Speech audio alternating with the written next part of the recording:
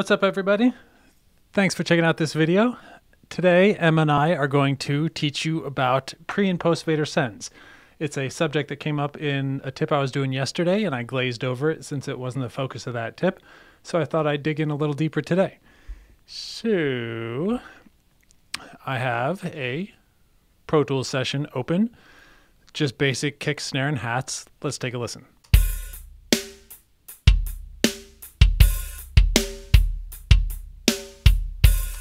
So it sounds good, just dry. Let's go over to our mix window, Command plus.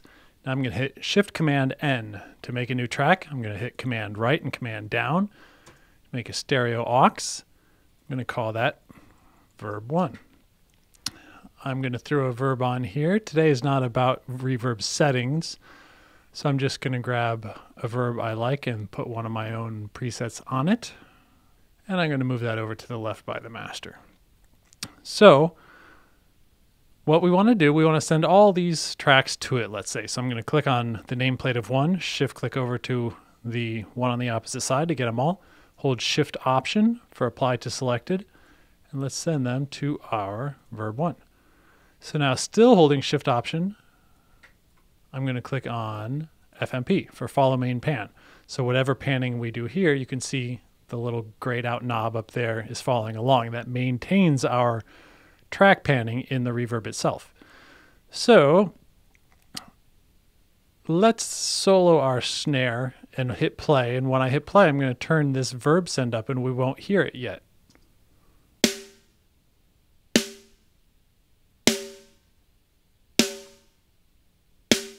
We should be hearing tons of reverb, right? Why are we not? Well, because we didn't solo safe our return.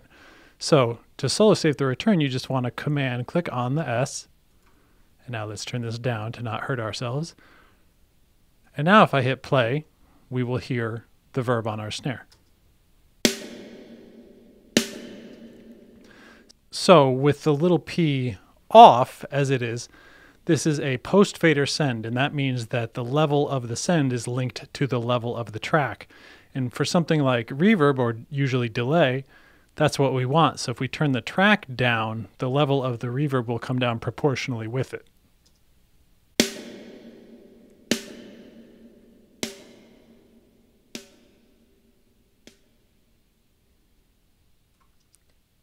So for mixing, that makes sense most of the time because as you're turning up and down the levels of your tracks, you want the reverb to stay proportional with it. You don't want to have to turn your track down and then go, oh, I better go turn down the reverb as well. That'd be an annoying extra pain in the butt. But conversely, just to show you, if you did turn on the little P and make this a pre-fader send, if I pull down the level of this track, the level of the reverb will actually stay the same. And when the track here gets all the way to the bottom, you'll be hearing just 100% wet or 100% reverb.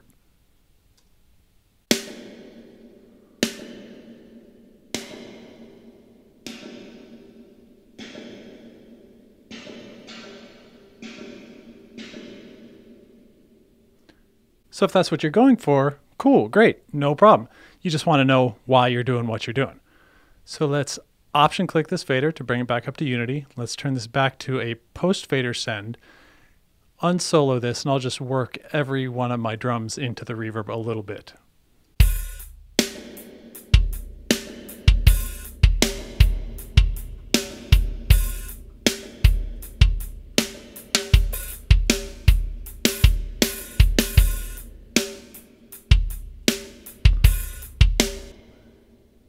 So then I thought I would quickly review the pre-fader send business that we did for parallel compression because that's sort of the opposite. So we'll make another stereo return, shift command N, command right for stereo, command down for aux. I'll call this drum pair. And I'm going to high pass it because I always do on my drum parallel because I don't want extra bass down there muddying things up around 120 is is kind of my starting place, but change it based on the track and the key and your taste and the song and the whole deal. That's just a good starting place. Then I'm going to throw some compression after that.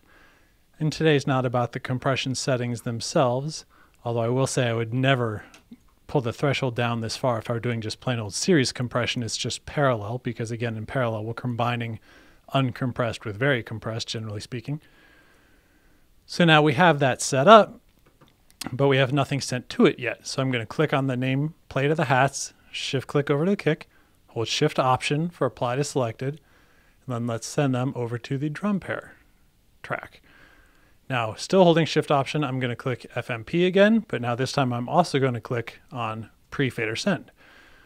So now with my drum parallel, I'm going to bring that up the middle bit a little bit in terms of pan, just because I like it that way. So I'm going to click this little fader to bring up the bigger one. Then I'm going to click link and invert and bring this up to about 50-50. I'm going to solo this so we're only hearing what's coming out of the return. So we're just hearing the very compressed signal. And because it's on a pre-fader send, I can hear these things when I bring them in. Whereas if they're on a post-fader send, at least if it's working correctly, I can't. Because post-fader sends means this is after this fader, and this fader is in effect muted. So if I have this on a pre-fader send, I can hear these being sent into the return, even though this track is in effect muted, like that. So this gives us a couple abilities. It gives us the ability to have this level not linked to this level at all, which is the very definition of a pre-fader send. But it also gives us the ability to solo this and hear only the compressed part, which is what I'm doing now. So you never want to do too much while you're soloed because at the end of the day it's irrelevant to the to the mix, but I can at least get a general idea of what this sounds like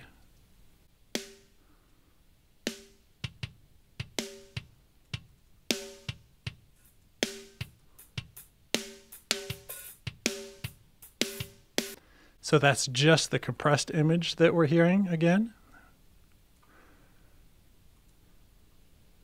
So then my, rec- my recommendation is generally to, as we saw yesterday, bring that down and then work it in.